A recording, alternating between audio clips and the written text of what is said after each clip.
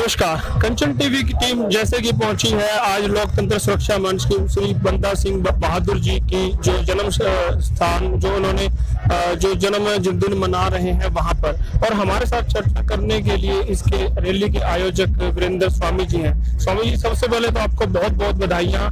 एक लंबा चौड़ा जन समूह आपकी रैली में पहुँच रहा है और अभी आने को और आतुर लोग गाड़ियाँ भर भर के आ रहे हैं। तो पहले तो आपको बहुत बहुत बधाई। जी बहुत बहुत शुक्रिया आपका। जी।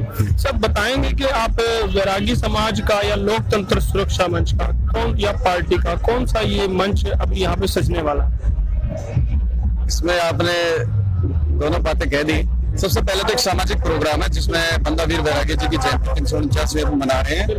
और निसंदेह मैं लोकतंत्र सुरक्षा पार्टी का भी राष्ट्रीय महासचिव हूँ।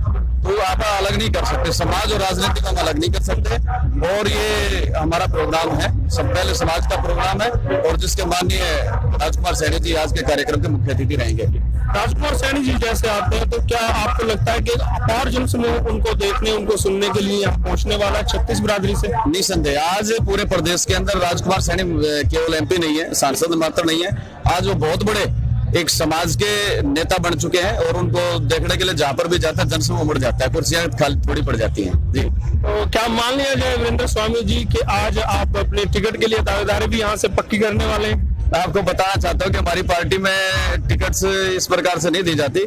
जनता जो निर्णय लेगी वो जनता के हिसाब से टिकट मिलेंगे और यहाँ मैं टिकट के लिए प्रयास नहीं कर रहा हूँ। मैं आपको क्लियर बताना चाहता हूँ और माननीय सांसद जी के हम एक छोटे से सिपाही बन करके अंतिम कतार में खड़े होकर के काम करना चाहते हैं। जो पार्टी का आदेश रहेगा, चाहे वो टिकट दें या ना दें, और टिकट चाहे जो भी विधायक या एमपी जो भी लड़ाएँगे, हम, मेरी कोई मनसा नहीं, बट ऊपर से जो आदेश रहेगा, हम कुछ भी कर सकते अपार जन समूह तो इसी और इशारा कर रहा है कि आने वाली सरकार लोकतंत्र की होगी। क्या कहना चाहेंगे?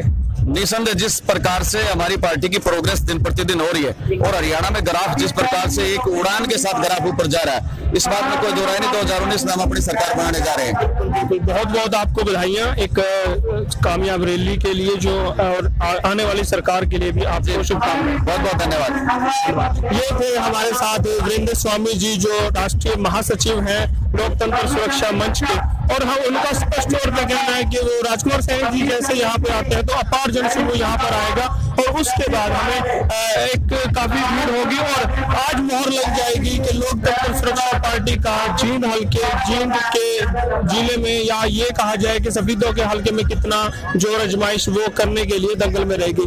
कैमरामैन सुनील भुक्कल के साथ मैं यशपाल कंचन।